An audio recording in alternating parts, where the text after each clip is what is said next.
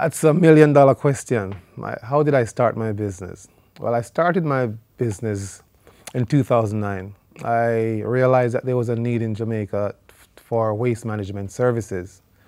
And um, I started in waste management and then I branched over into recycling, which is now the major part of my business. So besides picking up waste and disposing them at the landfill, I export recycled cardboard to Europe and South America.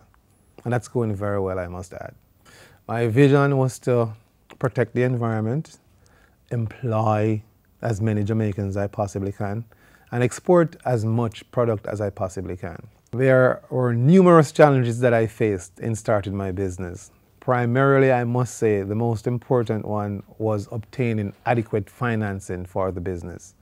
Small businesses such as my company fail most of the time because we don't have adequate capital to capitalize the business, to hire new employees, to buy new equipment, and so on and so forth.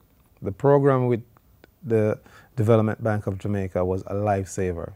I learned about the Voucher Technical Assistance Program with DBJ from my bankers at Scotiabank.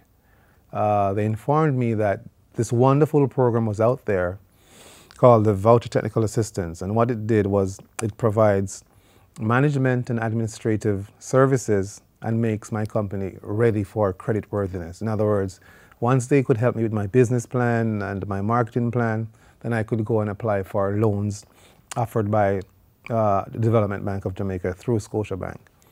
My application was successful, and the, the loan that I was able to get from DBJ helped me to purchase new equipment.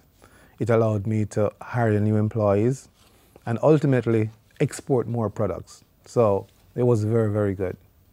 The DBJ program is tremendous. It helped me to get my business going in the right direction. So I would strongly recommend other small businesses, such as my company, to seek help from the DBJ because it will put you in a very good position to face all the challenges that your business will face as an entrepreneur. Within five years, I'd, I would like my company to become the number one exporter of recycled material out of Jamaica. I, with this loan, I was able to purchase new machinery. I was able to hire new employees. I have a comprehensive marketing and development plan.